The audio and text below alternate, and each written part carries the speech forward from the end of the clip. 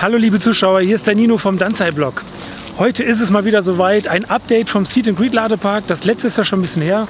Roland ist dabei und Roland ist gerade, ja, du bist am Schwitzen, denn im Moment ist Production Hell des Ladepark in Hilden. Stimmt.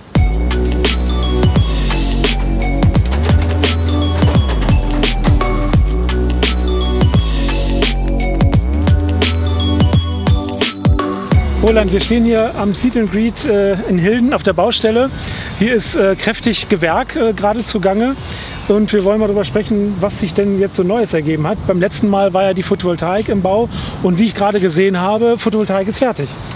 Photovoltaik ist fertig, genau. Also sie ist noch nicht angeschlossen, muss noch verkabelt werden, aber es liegt alles auf dem Dach, inklusive der Ostnasen, die belegt sind. Ja, Ostnasen, also Mike Krüger wäre stolz auf dich, glaube ich. Die Ostnasen sind äh, echt cool geworden, finde ich. Erklär doch mal kurz, warum du da jetzt dafür gesorgt hast, dass da nochmal äh, eine zweite Konterseite draufkommt. Wir haben ja hier eigentlich die perfekte Ausrichtung nach Südwesten mhm. für den Zeitpunkt, wann der stärkste Peak ist bei den Ladestationen. Das ist am frühen Abend.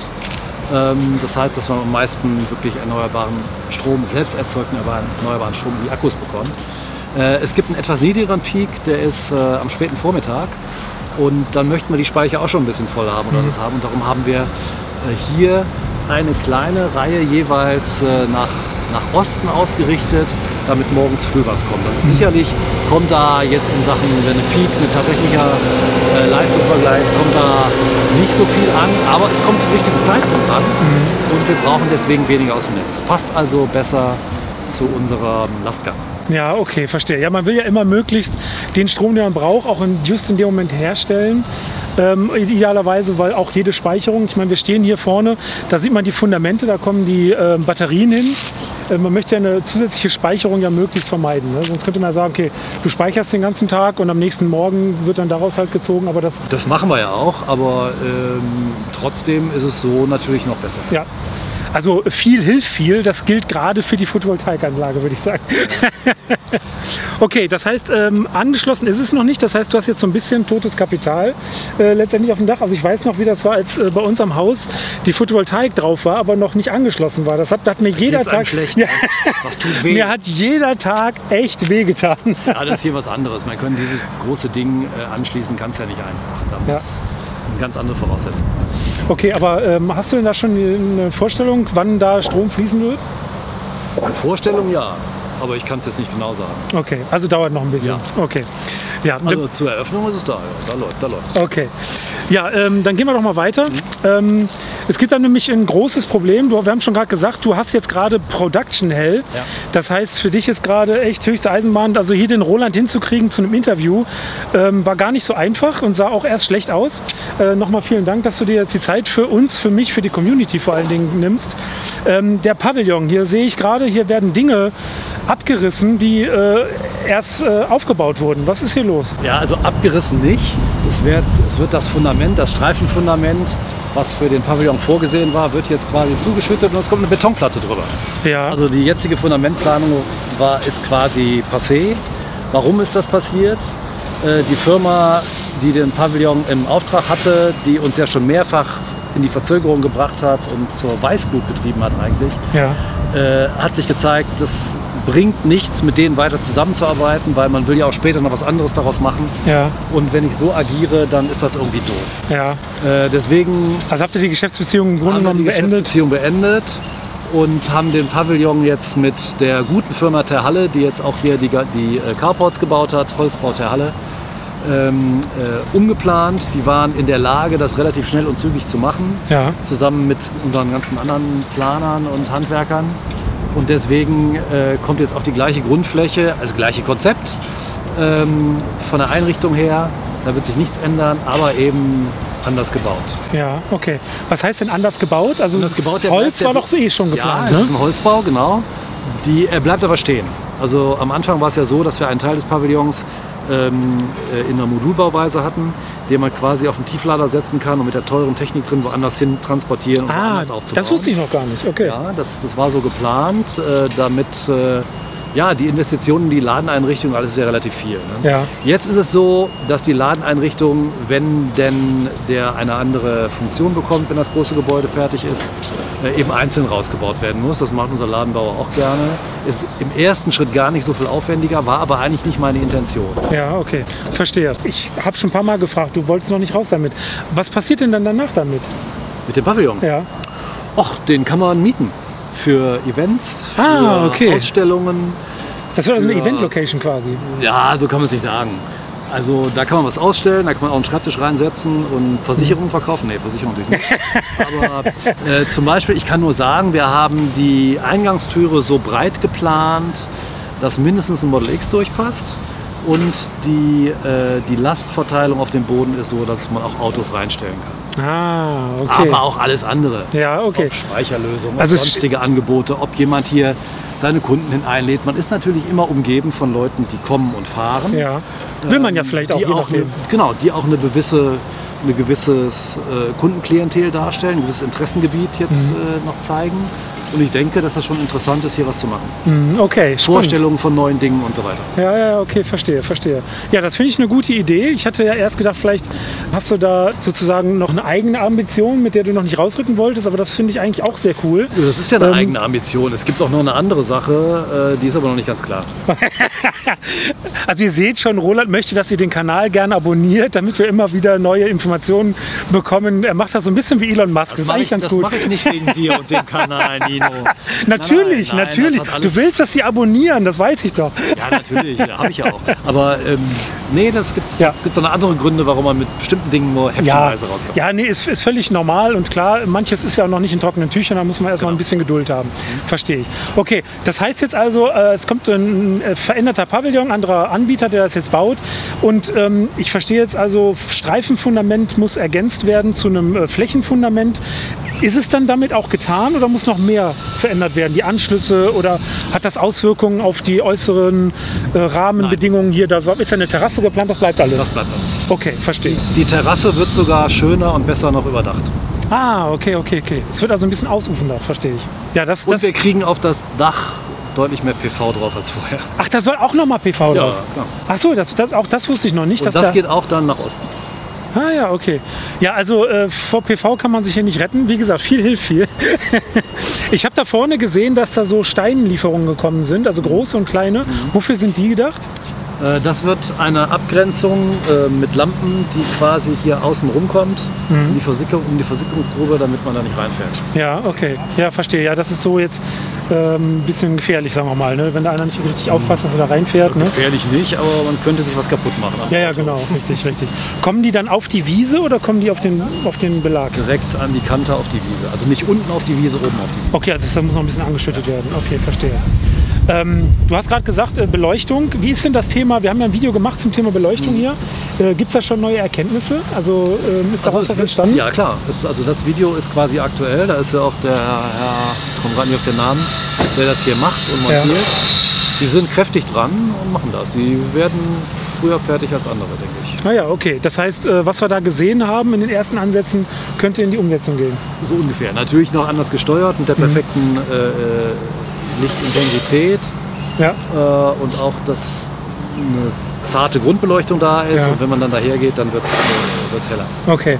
Ja, das könnt ihr euch in dem Video auch nochmal ansehen. Das fand ich äh, eine tatsächlich sehr spannende Diskussion. Wenn man halt nicht vom Fach ist, wie da äh, gefachsimpelt wurde, macht man jetzt starke Lichtkegel auf dem Boden und mit Übergängen oder macht man eher eine diffuse Beleuchtung im Gesamten. Ne? Das war recht interessant, finde ich. Okay, wir kommen jetzt äh, ja, zum eigentlich kritischsten Punkt hier, der ja, ich sag mal, das ganze Projekt doch ein ganzes Stück maßgeblich bestimmt, was die Planung und Umsetzung angeht. Nämlich, hier ist ja eine oder mehrere Pipelines äh, über das Grundstück, äh, die da laufen, die fossilen Pipelines. Ähm, auch da kann ich noch mal unten in der Infobox verlinken. Da haben wir erklärt, was genau hier für Pipelines herlaufen und warum das hier äh, eine äh, erstaunlich interessante Symbiose ist aus ja, Energiewende bezogener Energieerzeugung, also Photovoltaik und Wind etc. Und hier die fossile Energie, die hier lang fließt. Ähm, ich sehe jetzt, hier ist kräftig gebaggert worden.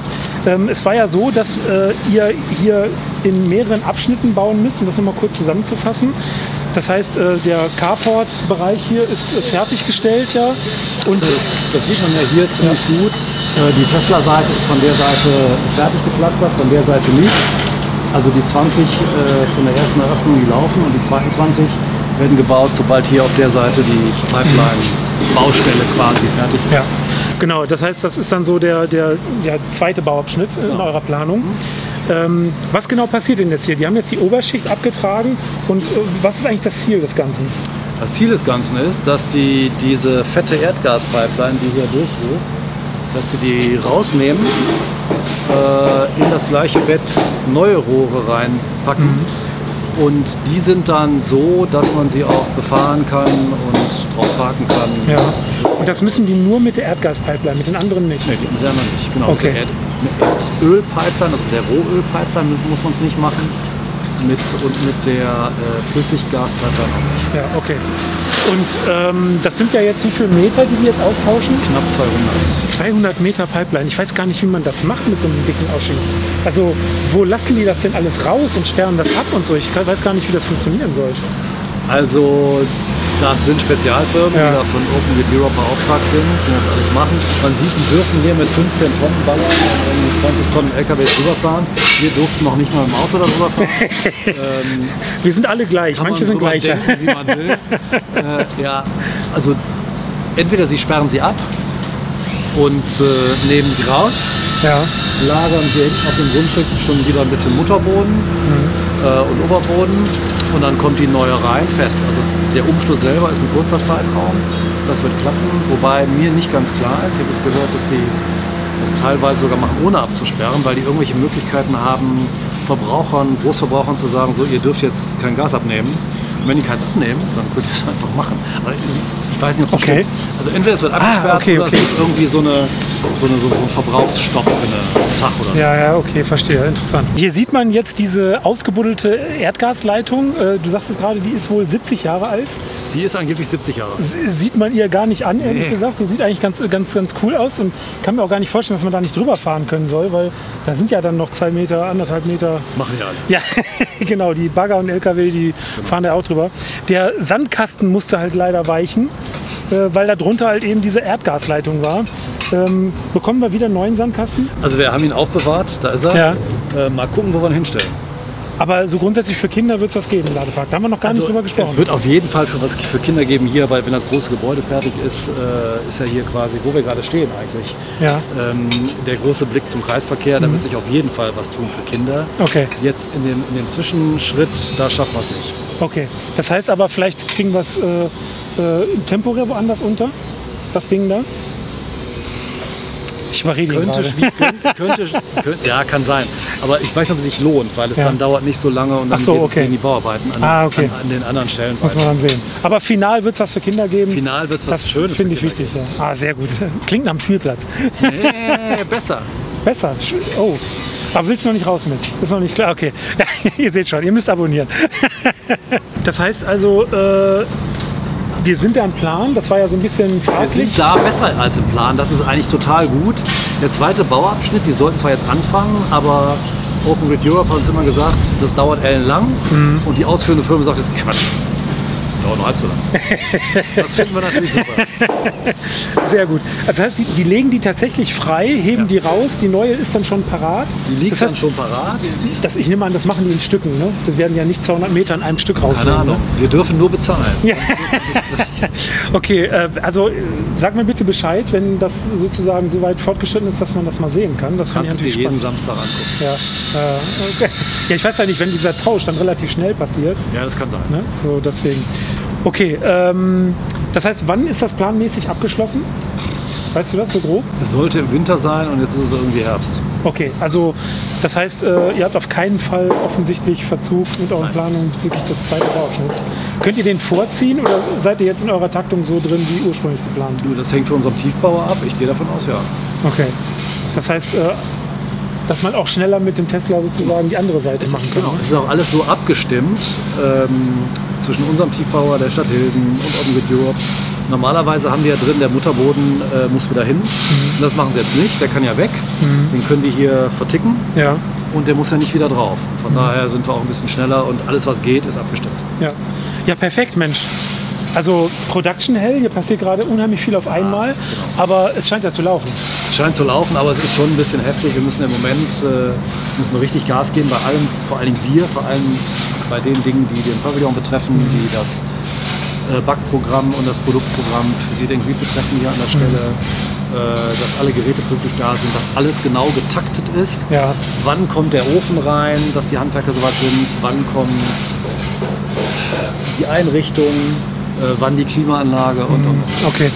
Ähm, nur mal, damit man so eine Vorstellung hat. Ne? Man, so mal Pavillon und ein bisschen Brötchen verkaufen, in Anführungsstrichen, klingt ja so einfach, aber ich würde jetzt mal so grob schätzen, dass dieser Pavillon doch wahrscheinlich im Rahmen eines Einfamilienhauses kostet, mit Ja. allem, allem Pipapo. Ne? So, das ist, darf man nicht unterschätzen, das ist ein Monsteraufwand und muss entsprechend getaktet werden. Ich weiß das, wie wir unser Haus gebaut haben, da muss auch alles passen, sonst heißt es dann nicht nach drei Monaten Einzug, sondern nach sechs. Ja, vor allem, und dann sagt dir ein anderer, hier, ich habe eine Behinderungsanzeige gestellt, der ist nicht fertig, äh, Ja. ich kann jetzt nicht arbeiten, ich koste aber Geld, bezahl mich. Oh, ja, ja, Also okay. es muss klappen. Ja. Und du siehst an Grünheide, wie geil das im Moment Ja. klappt. Das ist also unser großes Vorbild. Ähm, Hast du denn auch ohne Baugenehmigung schon angefangen? Nein, aber wir, wir machen das tatsächlich genauso wie Tesla. Es Ja. gibt immer Teilbaugenehmigungen. Ah ja, Es okay. gibt natürlich für das große Ganze im Vorfeld ähm, eine, eine Bauvoranfrage. Mhm. Wenn die positiv beschieden ist, ist das schon ein Teil der Baugenehmigungen, die kommen. Mhm. Aber mit den Baugenehmigungen selber gehen wir Stück für Stück vor. Das ist auch gut, weil man in der Zeit auch immer neues Wissen erlangt, was man einfließen lassen kann. ja, okay. Also du wir hätten also, es gar nicht durch diese Komplexität gar nicht en bloc machen können. Und ich nehme Ja. fast an den grünen Heide, es ist ähnlich. ja, ja. ja, das sieht man. Tesla hat es ja schon ein paar Mal, also jetzt einmal schon de- deutlich angepasst. Ähm, das ist ein lebendes Objekt, so ein Großprojekt. Ne? Das ist, äh, das von vornherein durchzudenken, ist nahezu unmöglich. Na gut, du Es kannst. sei denn, du hast eine Blaupause. Ja, Jetzt, wenn du das hier einmal gemacht hast, wenn du sagen, theoretisch, du würdest es nochmal woanders machen, dann weißt du so grob schon, wie es aussehen kann. Ne? Ja, okay. Ja, coole Sache. Ähm, jetzt ist natürlich die spannendste Frage, wann geht's hier los? Wann können wir hier laden und essen? Äh, das kann ich noch nicht genau sagen. Also es wird länger dauern als zuerst gedacht, aber Wir hatten ja mal irgendwann Ende diesen Monats, also Ende August, äh, war ja nee, mal, nee, nee, das auf keinen Fall. hatten wir mal gehofft. Nee, ich denke, es wird schon Ende September. Okay, ja, okay. Und dann aber Fastnet, Tesla und Pavillon. Genau, das hat den großen Vorteil. Wir eröffnen, das klappt so gut mit uns dreien. Wir öffnen tatsächlich alle zusammen Ja, und äh, mit einem großen Bums. ja.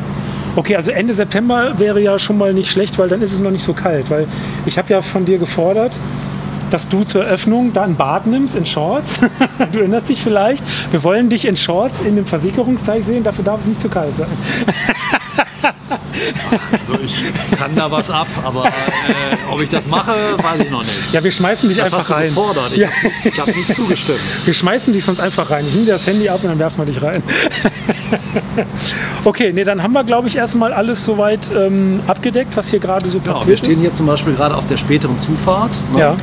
Also äh, wo jetzt drüber zugefahren wird zur Baustelle und auch wenn hier eröffnet wird, das ist ja Mhm. hinten quasi dann nur die spätere Anlieferungszufahrt. Die Hauptzufahrt ist hier, äh, wo auch quasi die LKWs jetzt sieht, sieht wo die reinfahren für Ja. die, für die Pipeline. Und das findet dann hier statt. Okay, eine Sache fällt mir noch ein. Vorne passiert auch was. Da passieren Arbeiten für die Trafostation. der Straße. Ja, An die vorne eine Ecke. an der Ecke, ja. Ja, genau. Da, wo jetzt die Trafostation von Tesla steht, da werden die Fundamente gemacht für ein jetzt größeres Trafo-Gebäude, Mhm. äh, weil wir erst alles abgestimmt haben und wussten wir, wie groß es wird, was muss da alles rein. Ja, Äh, das wird jetzt da parallel gemacht. ja. Der muss ja, sonst, sonst äh, wird man nicht laden können. Aber die ganzen Verteilungen Mhm. und so weiter und so fort. Ja. Prima. Okay, Roland, vielen herzlichen Dank ähm, für das Update hier von der Baustelle. Ich hoffe, euch hat das Video gefallen, hier nochmal zu sehen, wie es hier so weitergeht. Es war so ein bisschen, ich sag mal, etwas weniger optisch zu sehen, als hier die Carports dann standen. Dann Photovoltaik, da sieht man nicht so viel. Jetzt ist hier wieder richtig Action. Hier sieht man unheimlich viele Handwerker. Und ich bin total gespannt, ähm, wie das weitergeht, wie der Pavillon vor allen Dingen aussehen wird. Abonniert also den Kanal, wenn euch das Thema interessiert. Daumen nach oben und vor allen Dingen in den Kommentaren möchte ich bitte ein paar Wünsche sehen, äh, ob ihr ihn im Wasser haben wollt oder nicht. Und vor allen Dingen, er mag es nicht so, wenn man über ihn bestimmt. Ich bin der Chef. Und vor allen Dingen stellt gerne Fragen, äh, die ich mit dem Roland vielleicht im nächsten Video dann äh, klären kann, wenn wir jetzt hier was vergessen haben oder irgendwie was äh, übersehen haben, was ihr entdeckt habt.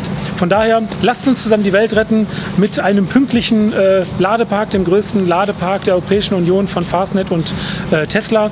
Ähm, ein super geiles Projekt. Bitte mehr davon. Wiederhole ich immer wieder, dass er auch weiß, sich schön merken, wie das geht hier. Dann kann man das anderen erklären oder vielleicht noch weitere Projekte machen. und äh, ansonsten schaltet wieder ein, es wieder heißt Nino vom Danzai-Blog. Bis zum nächsten Mal. Ciao, ciao.